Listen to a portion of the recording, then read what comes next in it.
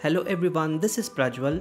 In this video, I will show you 4 easy methods to check Azure AD Connect version. You can use any of these methods to find the Azure AD Connect version.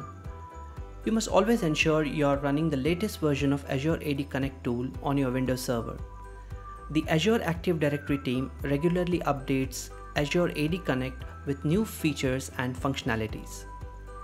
The Azure AD Connect tool is used for connecting on-premises identity infrastructure to Microsoft Azure AD. It is also used to configure hybrid Azure AD join. Azure AD Connect offers several features like password hash synchronization, pass-through authentication, federation integration, synchronization, health monitoring. Before you upgrade Azure AD Connect on your server, you must know what Azure AD Connect version you're running. I will now show you 4 methods to find the Azure AD Connect version. Method 1 Find Azure AD Connect version in Programs and Features. This is the most easiest way to find Azure AD Connect version. On your Windows server, click Start, Control Panel and go to Programs and Features. Under the list of installed programs, look for Microsoft Azure AD Connect. Look for the version column to determine the installed Azure AD Connect version.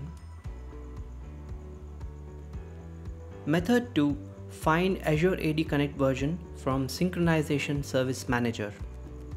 You can find the Azure AD Connect version using the Synchronization Service Manager with the following steps. On your Windows server, click Start and launch Synchronization Service Manager. On the menu, click Help and then select About. You can now see the Azure AD Connect version which is version 2.8.0 in this case.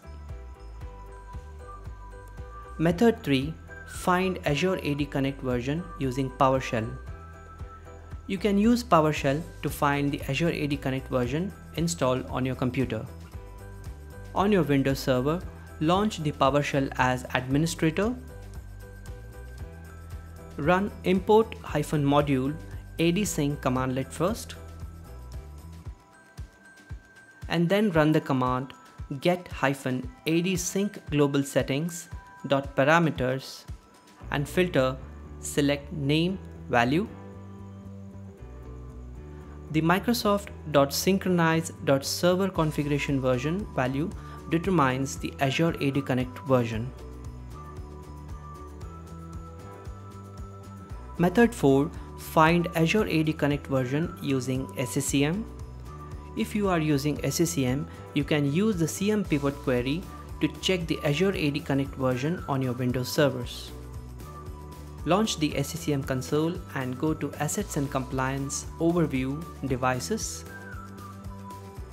You can right click a device or a device collection and click Start CM Pivot. Run the following query to check the Azure AD Connect version. Install software where product name contains Azure AD. Take a look at the product version column that shows the Microsoft Azure AD Connect version. So I showed you four methods to find the Azure AD Connect version. I hope this video was useful and if you think so, like the video and for more videos, subscribe to my channel. I'll see you all with my next video soon. Bye.